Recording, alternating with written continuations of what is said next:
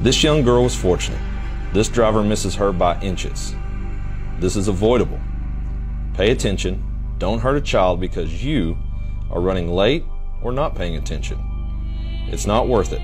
It can cost you a sizable ticket, but it can cost a child much more. If you're approaching the school bus and its lights are flashing, you have to stop. Kids are getting on and off the bus. If you don't stop, it's against the law and dangerous.